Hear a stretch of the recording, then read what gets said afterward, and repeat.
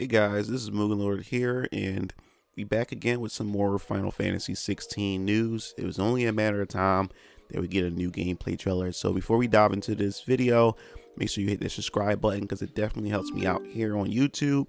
And also don't forget to hit that bell to be notified for more JRPG news here on this channel. So we're going to dive into it.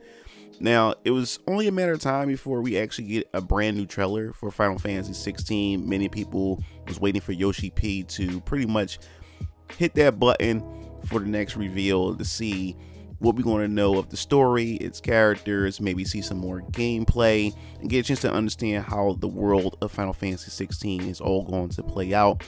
And as of course, definitely after looking at the trailer, the name of the trailer is called Ambitious, and it really looks ambitious. It looks definitely really, really impressive. Not going to lie on that forefront. And like I said, it's from the developers behind Final Fantasy 14. So Business Unit 3 these guys know what they're doing and you can definitely see some of the similarities as far as the character designs joshua himself now in this video as far as the trailer is concerned, we've getting an understanding of how the world actually works and what's entailed in this world. Now, as we can see here in the trailer, they're introducing the different kingdoms um, found in this world. And what's interesting is each kingdom pretty much, I would say, have a crystal of their own. And it seems like 16 is definitely going back into that traditional Final Fantasy route where it more so focused around the crystals, which I find really interesting. It seems like Yoshi P is definitely, he really loves that era of Final Fantasy compared to the more modernized Final Fantasy that pretty much strayed a bit away from the, I guess you could say, uh, medieval fantasy and, you know, good versus evil and the power of the crystals. So it seems like they're definitely revisiting um, that, but with a different twist. And I will say this even though Final Fantasy X focused on summons, it seemed like the summons are definitely playing a much bigger role in this game. And I like the different approach that they're taking with this. For the simple fact is, these nations all have their, I guess you could say, their own avatar or their own summon that pretty much represent their nation. Kind of like it remind me of the anime Naruto, where the Naruto, each nation, Shinobi Nation, has their own Jinchuriki um, tailed beast.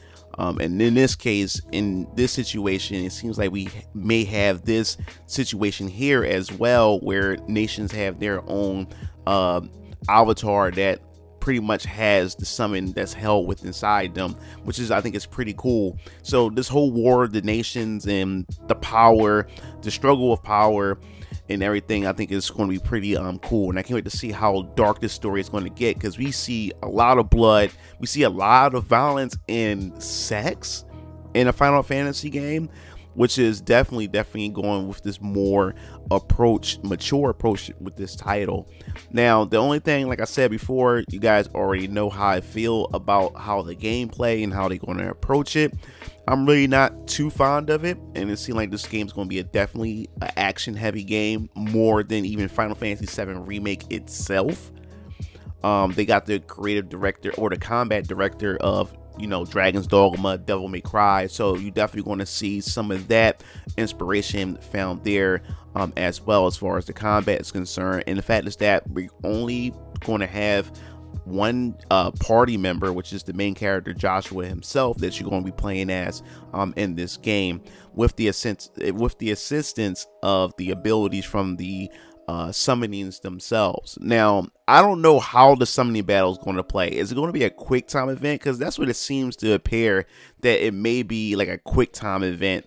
But we won't have to wait and see because it seems like they really still haven't really put any heavy emphasis on how the combat is going to work, how it's going to essentially play once you get into the summoning battles um, of the game. We just going to have to just wait and see um, when a later trailer come out. Now, the thing that really got me the most is its release date um, for this game. We're getting a summer 2023 release.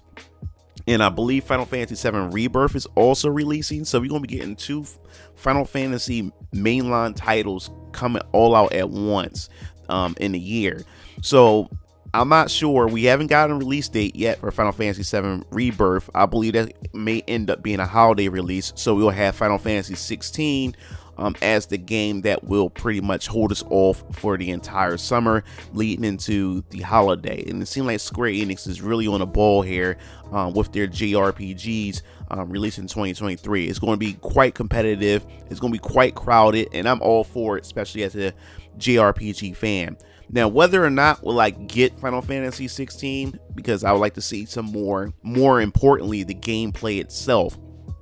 Is it going to be um, somewhat like an open world, not an open world, open world like we see from, you know, Ubisoft and other games that's out there? Will we have that open zone where, you know, you have these big locations that you just traverse that feel like big open world environments? I definitely want to see how that's going to play out. I want to see the NPCs. I want to see villages. I want to see how massive the terrains are uh, when it comes to this game. And then more importantly, how the combat is going to feel, how it's going to look. It seems like they've really been holding back to really show us how it's actually going to play out. And I think they're doing it for a reason because they're going to probably have a specific video that's going to be tailored towards that. And I'm all for that. And I think that's going to be the thing that's going to help me decide whether or not I will play this game.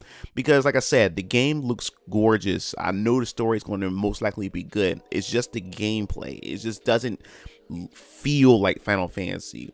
From the surface, it looks like a Final Fantasy game, but everything all together, when you look at from what's being seen here is just it's not Final Fantasy. It seems like it can be its very own um, unique IP to itself or whatever like that. So we want to wait and see how that's going to play out. And plus, it'll be good content if I end up grabbing the game. So I can definitely give you my overall thoughts and how I feel about the direction of how Final Fantasy and where it's heading um, as a series altogether. And if you haven't checked out my previous video where Square Enix talked about that they really don't know what to do with Final Fantasy as a brand altogether. They're kind of confused in where they want to take it um, moving forward into the future. So you can check that out. Make sure you check that out as well. But that pretty much wraps up this video. That's all I pretty much have to say. The trailer looks impressive. The voice acting is, is amazing in my opinion. And I'm overall curious about the story um, and how it's going to play out since we still don't have a clue of what's going on here in, in full context. So if you like the video, as I said before, hit that like button because liking the video, you don't even have to comment.